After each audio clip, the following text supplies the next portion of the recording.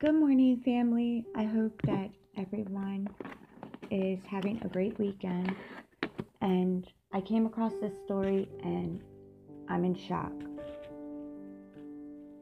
I do a lot of different topics. Um, and when I read this, I was in complete awe. Because I can't imagine someone doing this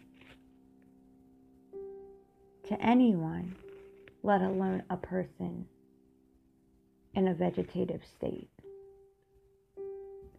So, a woman in a vegetative state who gave birth in facility had likely been pregnant multiple times.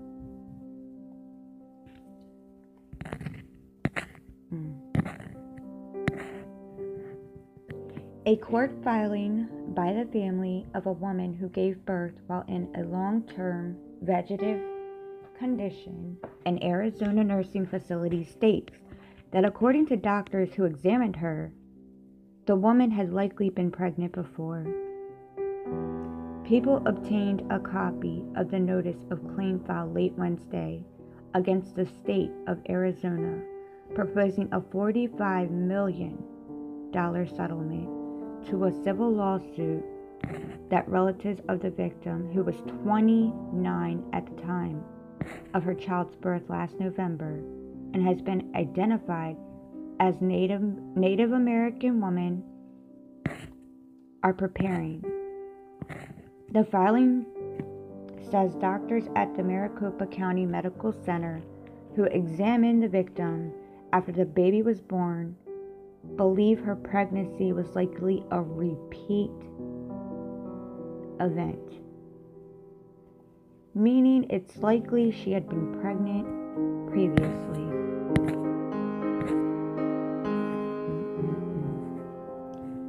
The notice of the claim also cites the findings of Dr. Sharon Cooper, who said the woman had significant scarring in her private area which, according to Cooper, is evidence she was likely violently sexually assaulted and violated on multiple occasions.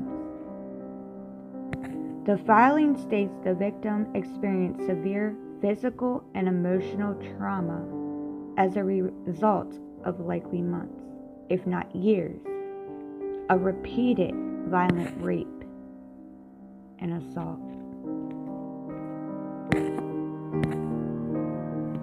Nathan, 37, a nurse at the Phoenix based healthcare long term facility, was arrested earlier this year and has pleaded not guilty to one count of a sexual assault and one count of vulnerable adult abuse. His attorney has not responded. No comment.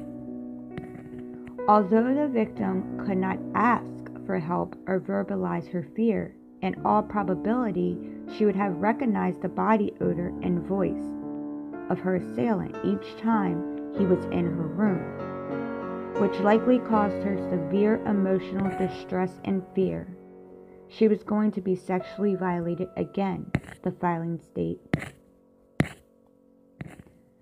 The filing alleges the facility didn't give the woman, this facility didn't give the woman any medication to ease the pain of the pregnancy or delivery, and further states she had the ability to perceive her surroundings, those around her, and to experience pain and discomfort.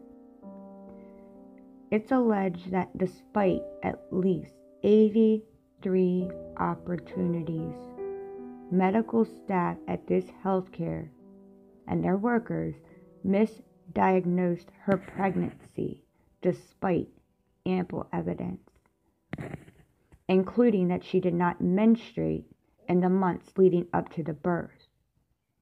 Staffers noticed a large and hard mass in her abdomen on three occasions, that her stomach was characterized as distended. During 24 examinations, and that nurses checking on her noted her private parts appeared swollen.